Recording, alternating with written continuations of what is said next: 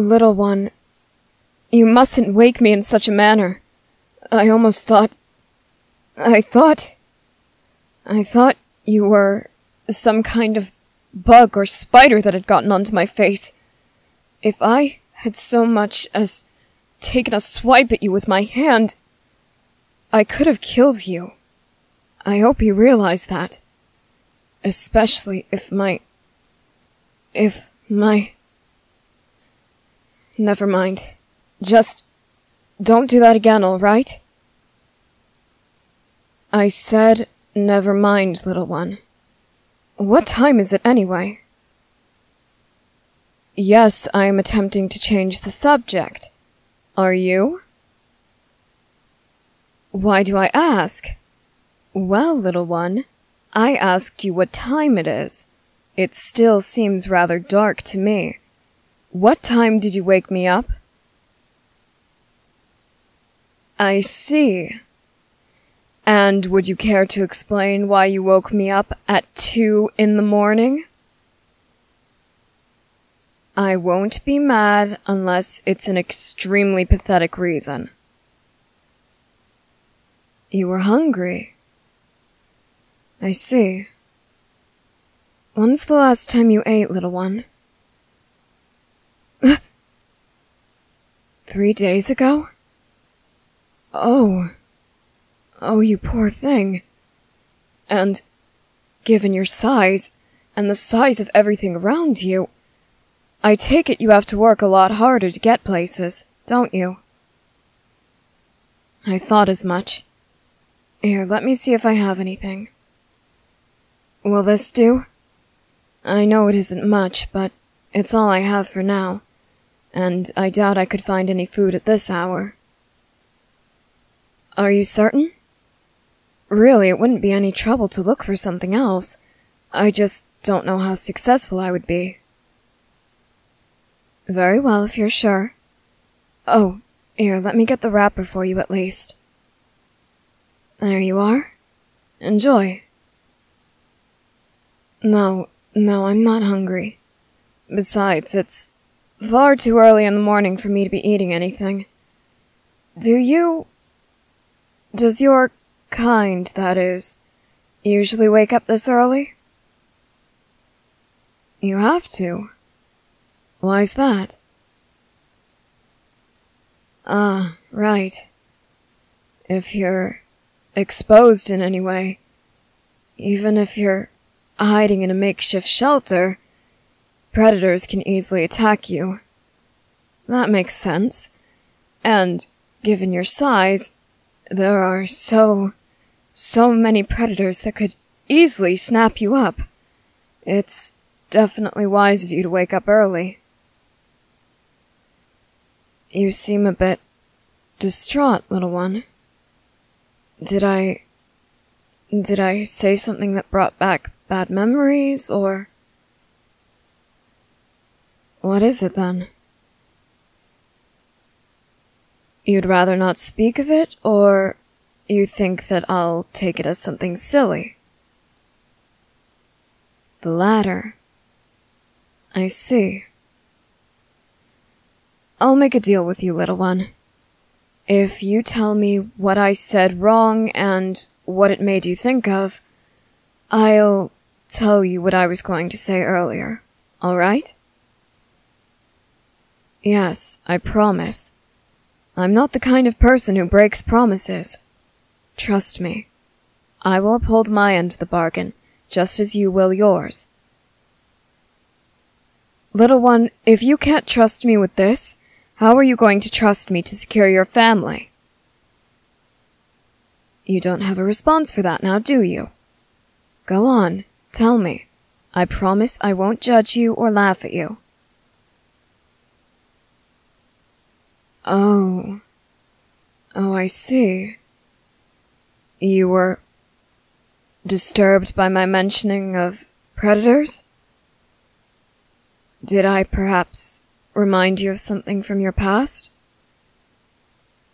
Really? What is it then? Oh. Oh, I see. I mentioned your size and. and it made you feel weak? My sincere apologies, little one. I'm sorry. My sincere apologies. I. I had no idea that you were sensitive about things like that. After all, it is a bit obvious, especially now that you and I are so close to one another. It's glaringly apparent that, well, there is a significant size difference. After all, you appear to only be the size of my index finger, whereas I am over five feet tall. Really? You think that you could climb me like a tree? Well, I have no doubt about that, although my skin is much smoother than tree bark, so I doubt you'd find many footholds or grips, but that's beside the point. I. I do sincerely apologize for making you feel weak. And if calling you little one bothers you, I can find something else to call you. It doesn't bother you. Why's that? You don't see it as demeaning. How do you view it then? I'm curious. Endearing? I was expecting any answer except for that. Why exactly do you find it endearing? Ah, right. It sounds like a nickname given to a child by a parent or a pet by an owner. It makes it seem like I care about you? Well, I. I can't say that I hate you. However, we've only known each other for so long, a few hours now, and even then, that amount of time that I've known you, most of it I've spent sleeping, and I hope that you are doing the same. Little one, if we are going to be working together, you definitely need to adjust to a different schedule. Yes, yes, I know that old habits are difficult to break. However, once we get into the more difficult phases of our operation, it's going to be incredibly rare for you to have a peaceful night of rest. Trust me, you'll want to get all the sleep that you can, whenever you can. I know, I know. It's. it's an instinct of yours. You wake up in an hour or two, perhaps even minutes, but you don't have to do that anymore. You're safe with me. I assure you of this. I have lost everyone I ever cared about. I'm not going to lose you. As I said, I don't exactly know if I care about you in the way that you're implying. I have sympathy for you. I can certainly empathize with you. However, once again, I barely know you. Although, you aren't entirely unlikable. I will say that much. Indeed, I did seem rather annoyed with you before, didn't I? That was merely because, well, first of all, you attempted to steal from me without explaining yourself. Second, you kept asking questions when I shut you down. And let's not forget that you woke me up at two in the morning by running across my face. I know, I know. I'm not mad that you woke me up or that you were hungry. I'm.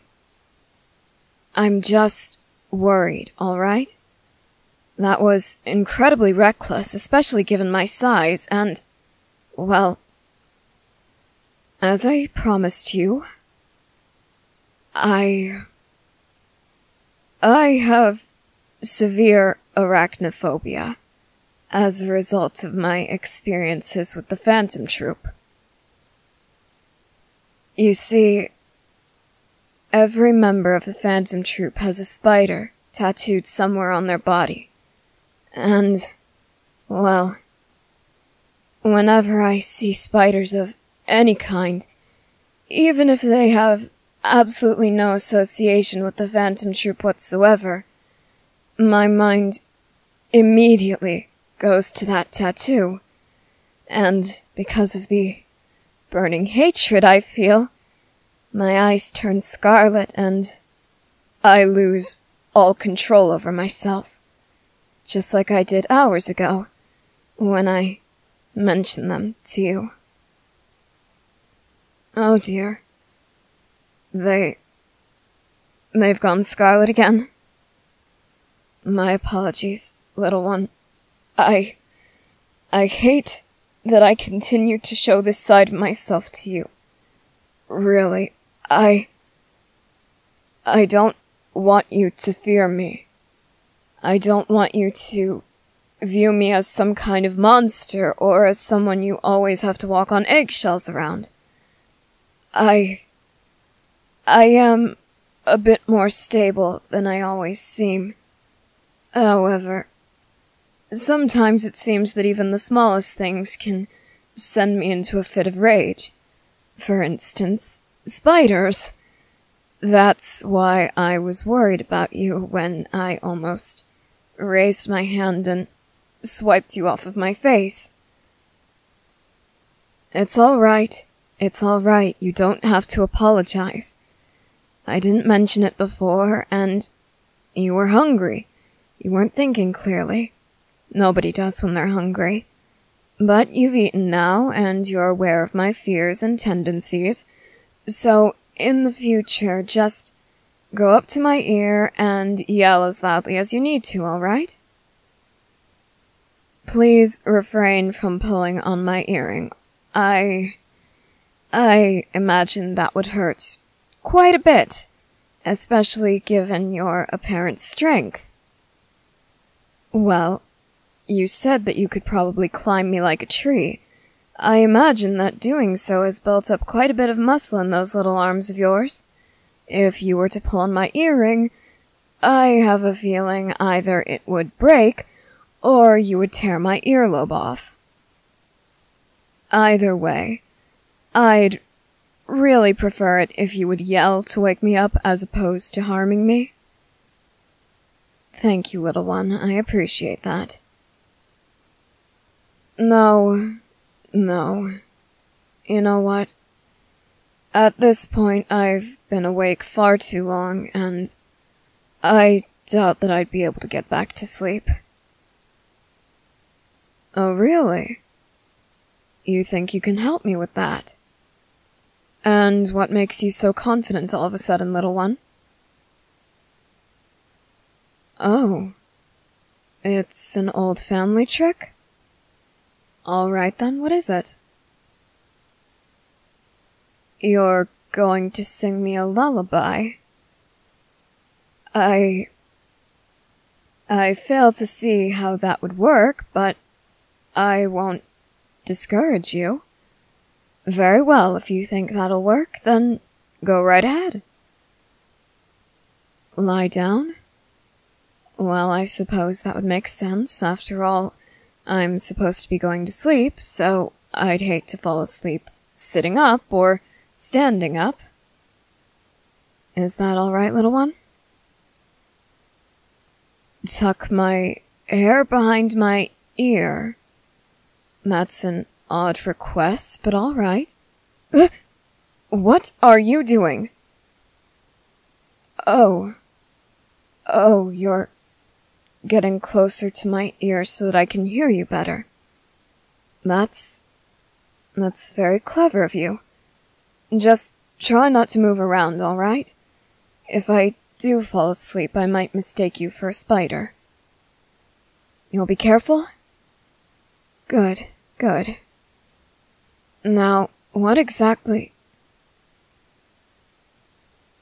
That's. That is a rather beautiful song. Where did you learn this? Your family taught it to you? Funny. I suppose it isn't really funny, it's just rather odd. It sounds quite similar to the lullaby my mother used to sing to me. In fact, it sounds just like it. Note for note.